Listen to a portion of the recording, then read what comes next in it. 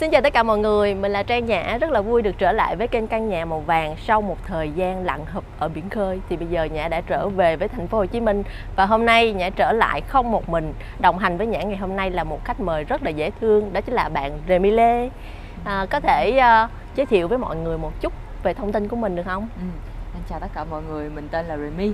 Thì hôm nay mình rất là hân hạnh để được lên sóng căn nhà màu vàng, cũng là kênh là mình theo dõi từ rất lâu rồi à, hôm nay mình sẽ giới thiệu đến tất cả mọi người một căn penthouse rất là đặc biệt thuộc à, tòa tháp Cove Residence giai đoạn 3 của Empire City và để biết được cái độ hấp dẫn của căn penthouse này như thế nào thì cùng theo chân Nhã và Remy nha.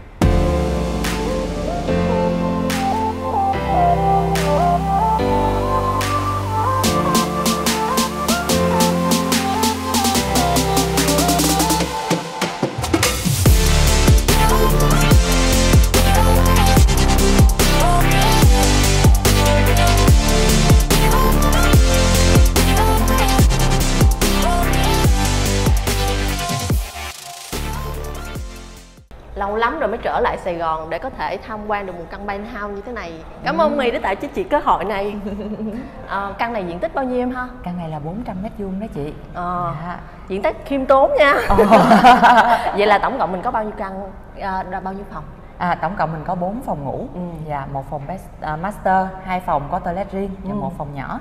Cái này chắc là phù hợp cho đại gia đình đó. Chính xác, một gia đình cỡ uh, hai vợ chồng, ba đứa con. Dạ và hiện tại ở Cove này đây chỉ có hai căn penthouse như thế này thôi ừ. số lượng rất là giới hạn ờ mà hình như cái này nó vẫn còn đang xuất cho người nước ngoài nữa dạ chính xác căn này đang được sở hữu bởi chủ nhà người nước ngoài à. dạ. À, lần đầu chị bước vào đây chị cảm giác của chị như thế nào lần đầu chị chỉ có thể gọi là wow thôi bởi vì nó ôm trọn tầm mắt của mình ừ. là nguyên một cái cảnh của Sài Gòn từ quận này qua quận khác dạ, nằm trong xác. một tầm view chính xác chính xác chị thấy cái kính này nó rất là quan trọng luôn á bởi vì uh, sáng là một lẻ dạ và vâng. ánh nắng là một lẻ nữa chính xác mà chị để ý nha kính này là kính hai lớp nữa cơ ừ.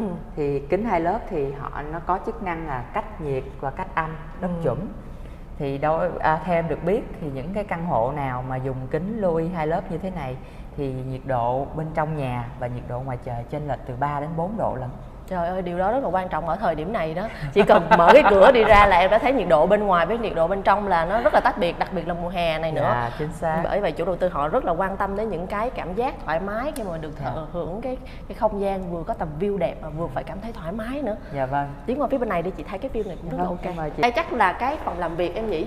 Dạ đúng chính xác. Ừ khi mà chị làm việc ở đây ha chị nhìn non nước hữu tình gần sông gần nước và ban đêm mà thành phố mà lên đèn càng tuyệt vời hơn nữa đúng rồi ở cái tầm view thì tất cả mọi người đều sẽ quan tâm vào buổi sáng và buổi tối ừ. ở đây nó vừa có hội tủ đủ cây xanh nè ừ. nước nè trong ban ừ. ngày nè khi mà tắt đèn xuống một cái là ở xung quanh mình lại có những cái ánh đèn cũng của ừ. nguyên một thành phố ở phía bên kia yeah dạ nó như một bức tranh luôn Chính làm xác. cho cái ờ, cái không gian làm việc của mình khi mà mình stress trong công việc á dạ chỉ vâng. cần nhìn ra là mình cảm thấy thoải mái dạ, mà chưa kể là trần rất là cao nha rồi máy lạnh cũng rất là thông thoáng nữa dạ vâng ừ.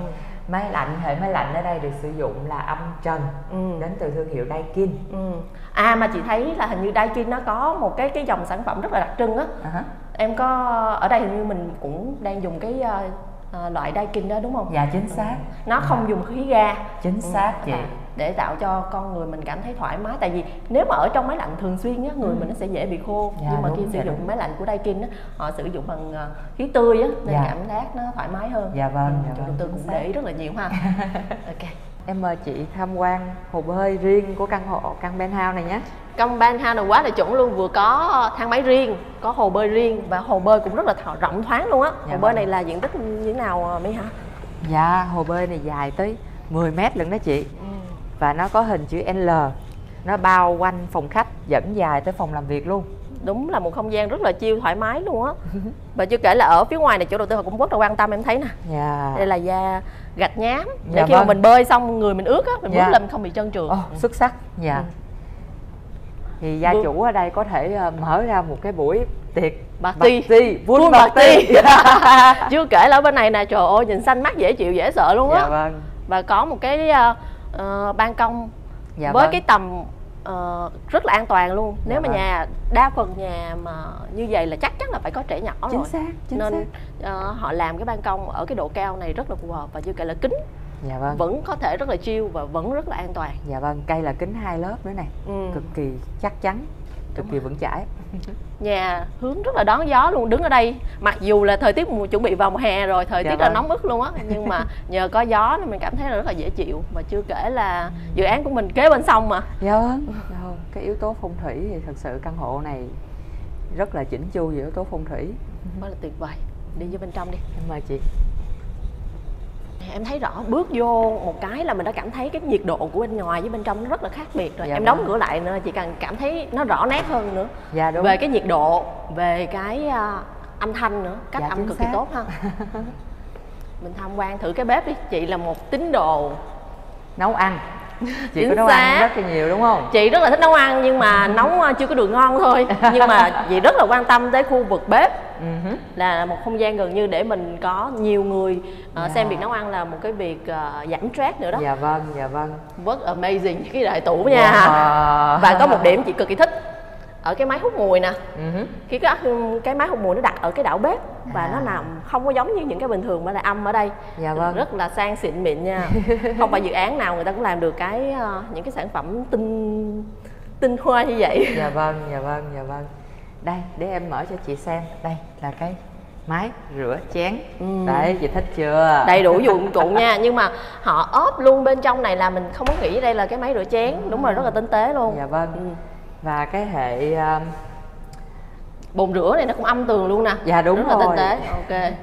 Cái này chị thấy nhiều ờ, bên họ không có làm được. Họ kiểu là chưa có nghĩ đến những cái ờ, chi tiết. Ừ ở đây thì họ nghĩ rất là chi tiết bởi vì nó âm xuống làm cho mình rất là dễ vệ sinh. Dạ, những xác. ai mà thích nấu ăn là họ rất là thích cái này nè. Dạ chính xác. chưa kể cái này nè cái ờ, vòi nước cũng rất là xịn có thể kéo ra kéo vô. Nói chung là họ suy nghĩ đến những cái rất là chi tiết. Dạ ủa nhưng vâng. mà chị không thấy cái tủ lạnh ồ tủ lạnh nằm ở đây nè chị Trời ơi, chủ đầu tư họ giấu cái tủ lạnh ở đâu vậy trời? Đây là cái khu vực để tủ lạnh ha. dạ vâng chị có thể À. giấu đi cửa này Wow.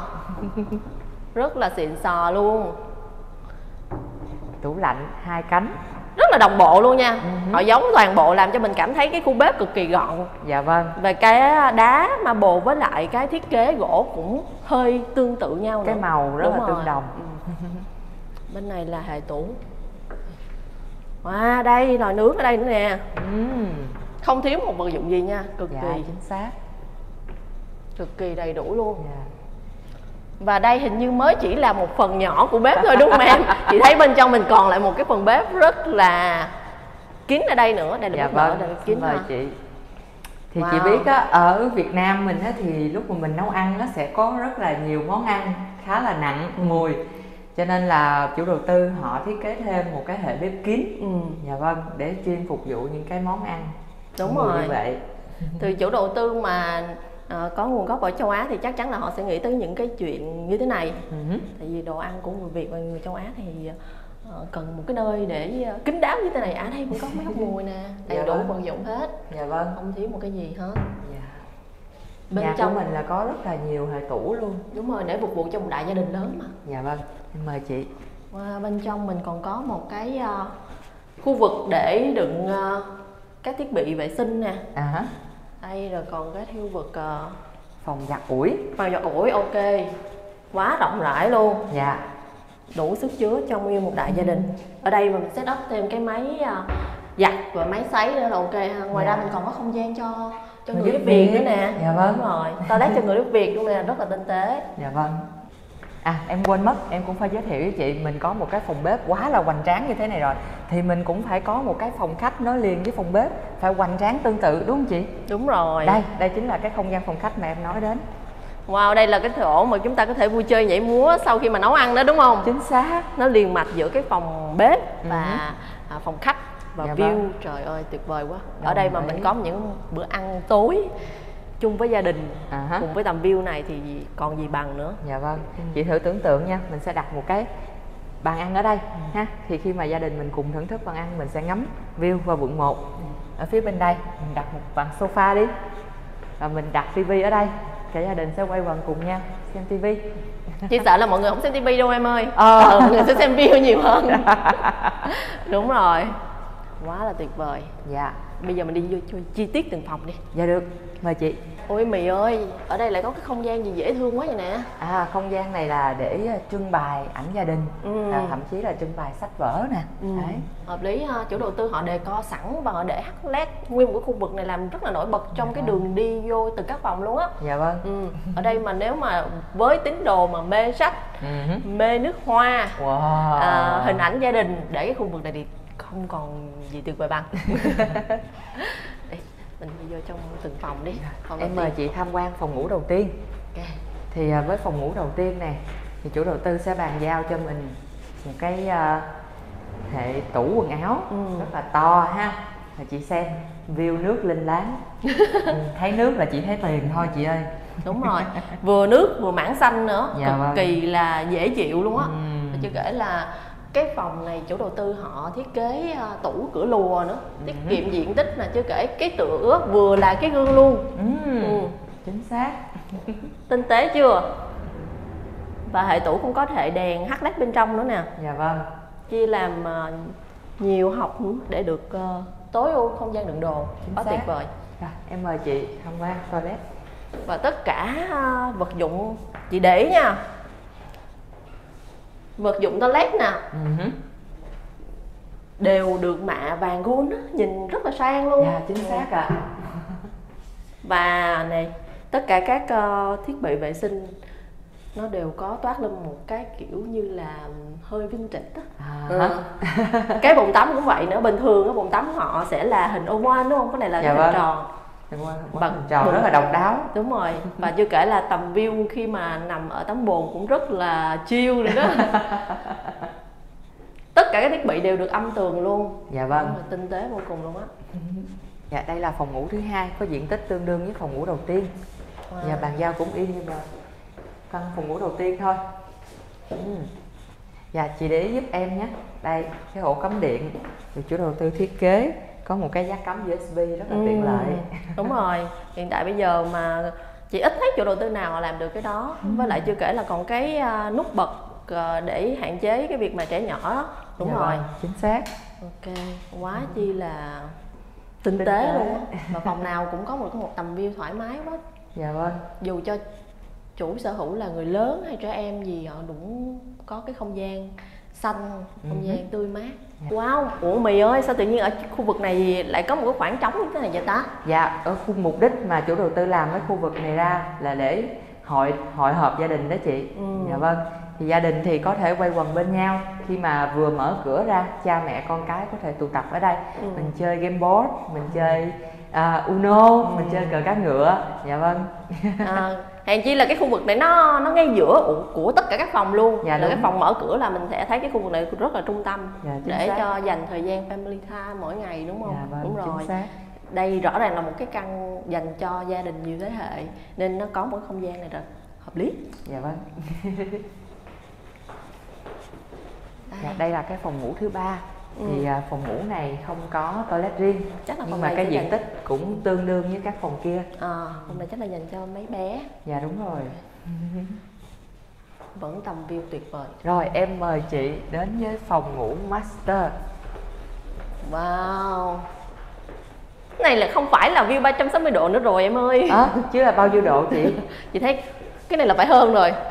Gấp đôi 360 độ. Dạ vâng trải dài từ quận 7 đến quận 4 chị ha. Ừ và chưa kể là mình còn có cái khoảng ban công nè ừ. này cho dành cho những gia chủ mà thích trồng cây họ có thể trồng thêm những cây xanh ở trong nhà của mình luôn dạ cái vâng. khoảng ban công cũng rất là rộng thoáng dạ. nè thậm chí là chị có thể đặt một cái sofa ngoài trời ừ. đó đến khi buổi chiều á khi mà ngắm hoàng hôn á cả gia đình có thể ra quay quần với nhau đúng rồi chị thấy ở cái khu vực này cái view tầm này nè rất dạ là vâng. xanh mát luôn nếu dạ. như mà sở hữu một cái kiểu là giống như cái võng á à ờ, để ở đây là cũng rất là hợp lý luôn. Rồi đồng ý với chị. Em mời chị. À, cái phần này rất quan trọng cái phần này cực kỳ yêu thích của chị đây. Oh. cái khu vực để quần áo. Mm, work in closet dạ yeah, đây là một cái nơi mà tất cả phụ nữ nào và cả nam giới nữa cũng rất là thích. Quần áo đẹp là phải có nơi để trưng bày. Dạ thì ở đây rõ ràng rất là tinh tế nha. dạ. Đầy đủ tiện nghi luôn. Bàn giao của chủ đầu tư nhưng mà họ đã bàn giao rất là chỉnh chu luôn á my ơi. Ừ. ừ. tất cả các hệ tủ ờ, đều có đèn hắt led nè dạ có vâng. giá treo nè dạ vâng. có kiến nè. Và đá marble luôn. Xịn quá. Cái này cần phải có ờ, đồ hiệu gắn vô nữa là ok. Dạ chính xác. Trời ơi thiệt sự cái toilet này là em nhớ đến ờ, khách sạn JW Marriott Ờ. tại vì họ toàn là ốp gạch đá như thế này thôi ừ. ốp đá là tới chạm trần luôn à hả. kính của mình à, được thiết kế oval và đặc biệt là chị thấy đặc trưng ở trong cái căn villa này luôn là lavabo đều thiết kế dạng tròn Dạ với lại vâng, à, bồn tắm cũng vậy Dạ một cái nét vâng. đặc trưng mà hiếm thấy ở nhiều à, gần như đây là dự án đầu tiên chị thấy. và những cái nét tinh tế từ những cái tay nắm cửa họ đều được mạ và cô nó nhìn sang ghê sợ luôn á. Đây À, là đây là vòi nước cho trang còn bên đây là cho nàng. Wow. Một cái không gian tắm đứng mà rất là rộng luôn á. Dạ vâng. Ừ, ngoài cái khoảng không gian chiêu ờ, tắm bồn ra mà cái bồn cũng cực kỳ rộng và có thể chứa cả hai người nha. Dạ vâng hoàn toàn đồng ý. Ừ. toilet phòng nào thì cũng là toilet thông minh hết quá chi là tuyệt vời. Ngay cả cái ổ cắm nó cũng rất là có cái đồ bảo vệ. Nữa Ừ từ chi tiết một. Rất là cảm ơn mì đã cho giả và những khán giả trên kênh căn nhà màu vàng có dịp tham quan một cái căn uh, penthouse vô cùng đẹp như thế này. Thì đây cũng là lần đầu tiên mà mình thì đến với kênh căn nhà màu vàng. Thì không biết là cảm giác của mình như thế nào? À, cảm xúc đầu tiên của em là vui tại em đã hâm mộ kênh căn nhà màu vàng từ rất là lâu rồi. Và bây giờ được chính thức là lên sóng nữa thì hiện tại thì em cảm giác hồi hộp nhiều hơn là vui. Tại vì đó giờ em chưa bao giờ làm review bất động sản bao giờ cả. Đây là lần đầu tiên của em đó chị. À, không sao đâu mì có thể là trong tương lai à, chúng ta sẽ có những cái video clip cộng tác với nhau và chia sẻ với tất cả những à, bạn trên kênh căn nhà màu vàng à, những cái stock đẹp và Dạ vâng. những kiến thức về bất động sản. À, còn bây giờ thì à, xin chào và hẹn gặp lại tất cả các bạn